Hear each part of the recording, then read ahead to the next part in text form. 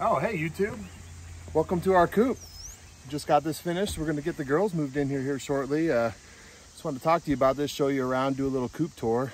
This project, I did the uh, 2x4 basics kit to build this shed that we converted to a coop. We did a lot of upcycling on it. The project took about three and a half weeks. I only worked on it for a couple hours a day and then took a few days off, so it didn't take a full straight three weeks to do this. But um, I'm gonna bring you inside and kind of show you what we did here and uh, just walk around and take a look. So come on in.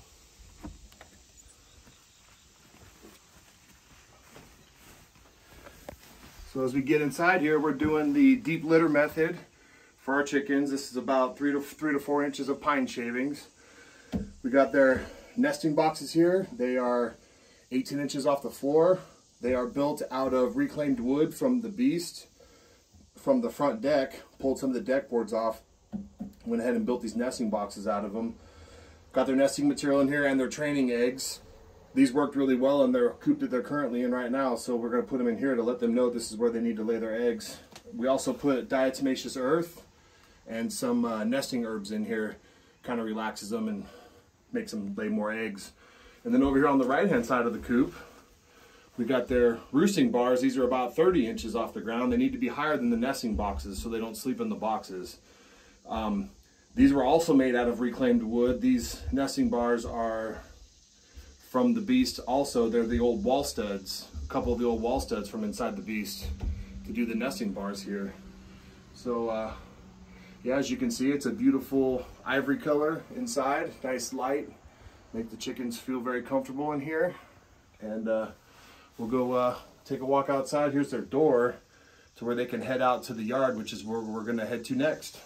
All right, so here's the run on the outside of the house we were just inside of. This is gonna be their primary scratching and everything area. We're gonna put, we got compost and stuff in here, but uh, put this door on today. We got it all wrapped in chicken wire and then the bottom portion down here is uh, half inch hardware cloth and it's buried underneath here. It comes out about 12 inches to keep from any burrowing critters from going inside, trying to get inside the coop. So we'll go ahead and open the door and go ahead and take a look inside. Watch your head as you enter. We'll start over on this side. This is the framing for the run is the old yard barn that was here at the property when we bought it. We were originally going to use it for a trellis to grow gourds on. And then once we decided we were going to do this composting system chicken run here, we uh, went ahead and wrapped it with chicken wire and brought it up here for that. So that's the story of the run. Um, Here's the chicken door. It's an automatic chicken door. I'll do a review video on this after we use it for a few months and see how I like it. But uh, so far it seems to be working okay. I keep checking on it every once in a while. It opens about 6.45 in the morning, right as the sun's coming up, and then it closes about 30 minutes after sunset. Their chicken ramp that we built here, this is just some leftover pieces from the trim of the house here. And then the main board is also a um, part of the deck boards from the Beast that we reclaimed to, um, to build this ramp for them. And then over here they have their dust bath. We loaded a little bit of fresh beach sand in there for them. And then stepping over this way, we got their five gallon water. We got their food out here. It's gonna be suspended so it can stay out here all the time and the critters won't get to it. So that's gonna be good. And here is their um, mineral feeder. It has chicken grit and oyster shells in it. And then over here on this side is their compost area. This is probably gonna get spread all over in here. That's why we we built these bases here with this two by six. But this is gonna be their compost area. There's a lot of bugs and things in here and they'll go in there and they'll turn it over and then they'll um, they'll defecate on it and uh, and it'll turn into really rich, good organic compost for us to use on all of our gardens.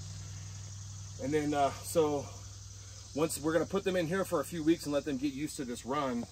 And then once they're used to it, this is a little chicken door here for them that opens to the outside. And we'll take their Premier One fence and we're gonna wrap them a yard area out here also for them. They can go in and out of here during the day. And then in the evening, after dinner or such, we can come in here and close them in so they'll stay in the run And then at night when they go back into roost, they'll just go in and the automatic door will close by itself.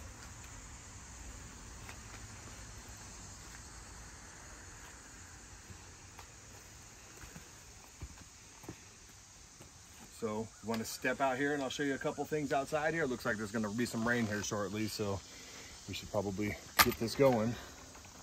So this roofing material up here is uh, siding that we upcycled also from the Beast. Um, it's all the tin siding from the trailer. We put, there's some on the house and some here on the run. This is uh, to help the, keep the rain off the chickens when they're outside and also some shade in the summertime when the sun comes over, gives them a little bit of shade to keep cool. And then we talked about on the, for the outside, the outside portion of their yard is gonna be right here. So Maggie had planted a bunch of seeds out here and uh, this is a chicken forage mix that we got. I believe it's from Urban Farmer. It's a just a mix of things that the chickens love to eat. So we're hoping that while they're getting used to and acquainted to, acquainted with their inside of their new run, this stuff starts sprouting because then they can come out here and have something to munch on when they're out here in the yard.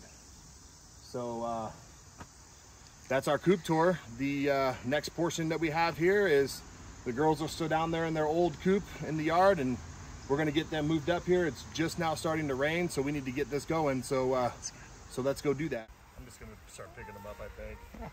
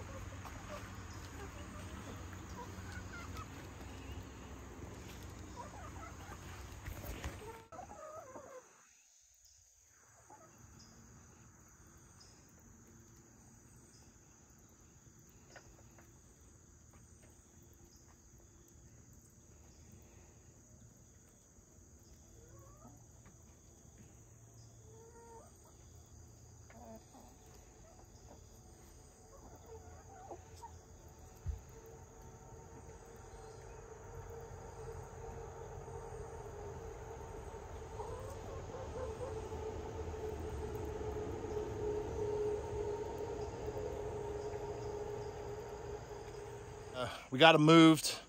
It uh, it started sprinkling there, and if you uh, if you're familiar with the term "mad as a wet hen," the chickens don't tend to cooperate when it's raining. They all they want to do is run under cover. So we didn't film it. It started to not turn too crazy, but we had to chase down a couple of birds. But they're in here. They're uh, already scratching around and eating stuff and getting used to their new home. Hope y'all enjoyed the video. Hope you enjoyed the build videos it's uh it's been quite a quite an adventure. It was a good time. I actually had a lot of fun doing it um, except a few stresses here and there but no big deal. Anyway we'll do more uh, more videos with the chickens and the coop and stuff um, here shortly and and uh, appreciate y'all watching. See you next time